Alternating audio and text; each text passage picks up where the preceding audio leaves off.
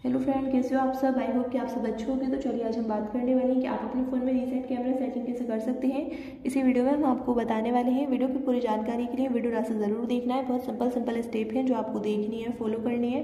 अगर आपने अभी तक हमारे चैनल को सब्सक्राइब नहीं किया है तो आपसे रिक्वेस्ट है कि आप हमारे चैनल को सब्सक्राइब कर लें। आइए वीडियो स्टार्ट करते हैं। आप अपने फ़ोन में रीसेट कैमरा सेटिंग करने के लिए आपको अपने फ़ोन में कैमरे पर इस तरह से लॉन्ग पर सकना है। लॉन्ग पर सकने के बाद में यहाँ से आपको एप इन्फो पे क्लिक करना है।